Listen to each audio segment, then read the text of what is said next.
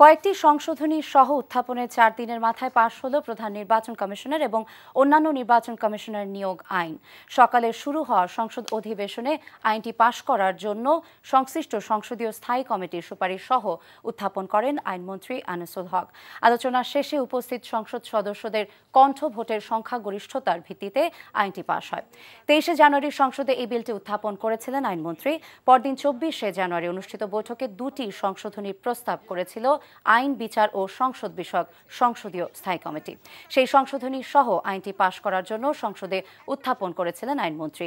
যদিও বিলটি অসম্পূর্ণ উল্লেখ করে প্রথম দিন থেকেই তা প্রত্যাহারের দাবি জানিয়েছেন বিএনপি দলীয় সংসদ সদস্যরা। তাড়াহুড়ো করে এত জনগুরুত্বপূর্ণ একটি আইন পাশ করা আইবাসের বেশি কিছু নয় বলে আমি মনে করি।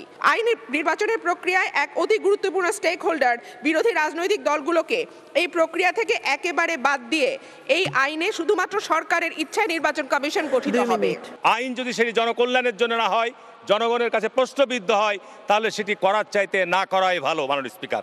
আমি তো স্পষ্টভাবে আপনাকে মাধ্যমে মাননীয় মন্ত্রীর কাছে জানতে চাই, সার্চ কমিটির মধ্যে তৈরি করা কমিশনের কারা সদস্য অতীতে হয়েছিলেন, সেটা কারও অজানা নয়, এবং যে যোগ্যতা একটি, সেটি ক্ষমতাসীন দলের অনুগত হওয়া।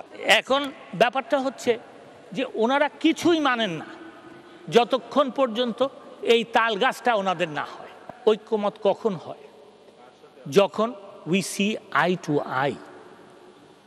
Up, if somebody says, I, I will look at the west, আরেকজন বলে I will look at the east এটা তো হয় না। মাননীয় স্পিকার ঐক্যমত হতে হলে ওনাদেরকে যেটা করতে হবে সেটা হচ্ছে সত্যকে স্বীকার করতে হবে। আমরা ইন্ডেমনিটির পথে হাঁটি না।